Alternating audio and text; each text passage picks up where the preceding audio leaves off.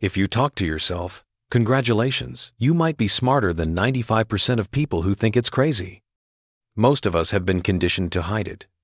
We whisper under our breath in the grocery store.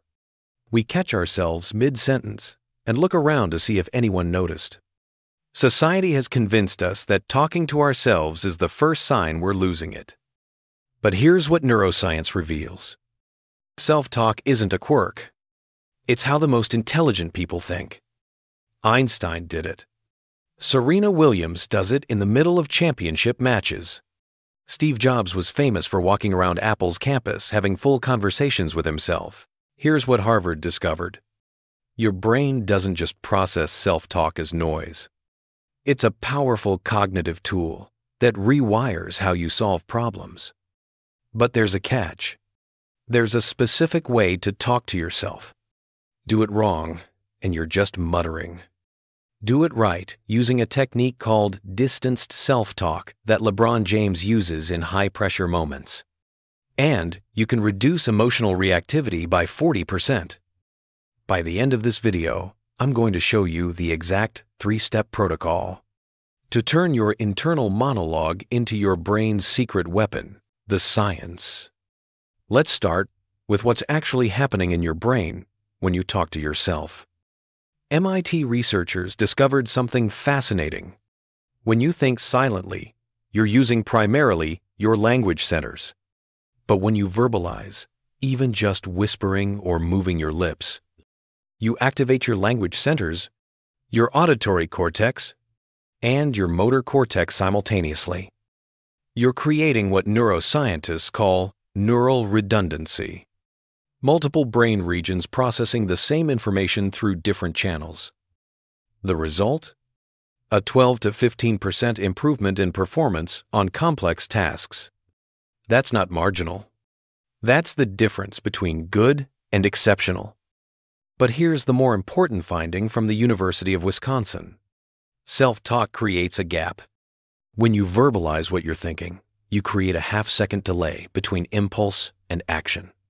That tiny gap allows your prefrontal cortex, your rational brain, to override your amygdala, your emotional, reactive brain.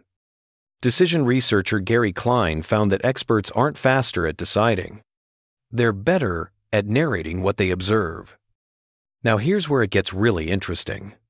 University of Michigan psychologist Ethan Kross discovered what he calls the distanced self-talk effect.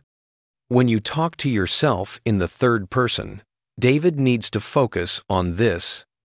Instead of first person, I need to focus, your brain processes it differently.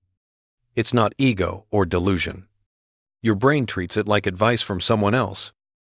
This reduces emotional reactivity by 40%. LeBron James uses this technique. In high pressure moments, he's been caught on camera asking himself, what would LeBron do here? He's not talking about himself in third person because he's arrogant. He's creating psychological distance from the pressure, the types. So if self-talk rewires your brain, the question is, what kind of self-talk actually makes you smarter? First, problem-solving self-talk. This is what it sounds like. Okay, what do I know? What don't I know? If X is true, then Y should happen. Wait, that doesn't make sense because you're not just thinking. You're externalizing your working memory. A Stanford study of surgeons found that those who narrated their procedures, I'm cutting here because I need to avoid this artery, made 25% fewer errors than surgeons who worked in silence. Why?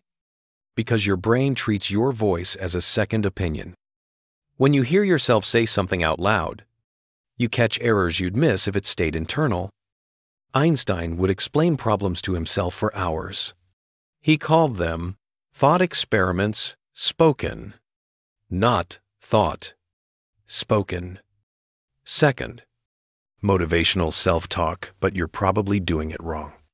Research from the University of Illinois found that second-person self-talk, you can do this, beats first person, I can do this, by 15% in actual performance.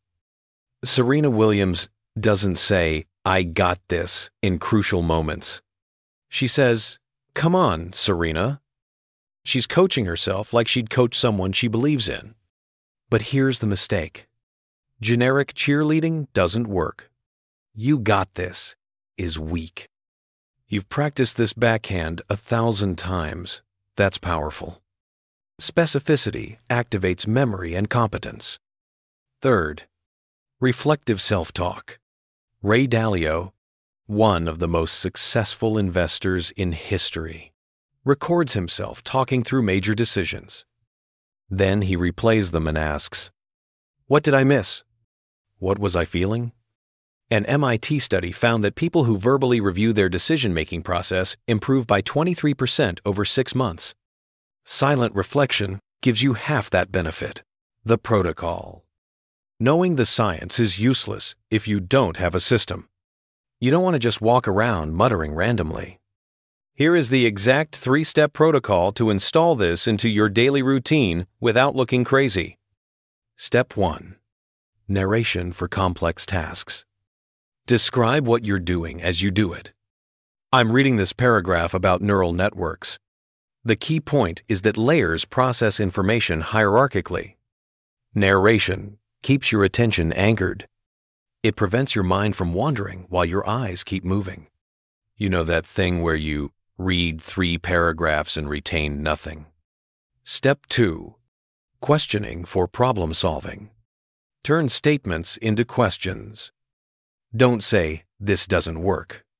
Ask, Why doesn't this work? What am I assuming that might be wrong? Questions force your brain into search mode. Statements let you stay stuck. Step 3. Third person coaching for pressure. Use your name. Okay, Sarah. What's the smart move here? What would you tell a friend to do? This creates instant objectivity. You're not drowning in the emotion. You're advising someone you care about who happens to be you. Here's the one rule that makes all of this work self talk has to be specific and externalized. Vague internal mumbling, ugh, this is hard, does nothing. Clear verbal articulation, even if it's whispered, that's what rewires the neural pathways. And here's what smart people don't do they don't suppress self talk in public. Suppressing it costs cognitive energy you're spending mental resources on looking normal instead of solving the problem. They don't judge the content. The moment you critique your own self talk that sounds stupid, you kill the flow. And they don't rush it.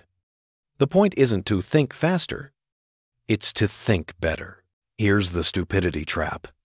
Most people silence their self talk because they're afraid of looking crazy. The irony? That silence makes them less capable of handling complex thought. Carl Jung said the unconscious speaks to you constantly. Self talk is you speaking back. It's not crazy, it's consciousness in action. So here's the intelligence marker. Next time you catch yourself working through a problem out loud, don't apologize. You're doing what every elite performer does thinking the way the brain is actually designed to think. Most people will keep suppressing this because they care more about looking normal than being effective. You won't. That's the difference. Your self talk isn't a flaw, it's a feature.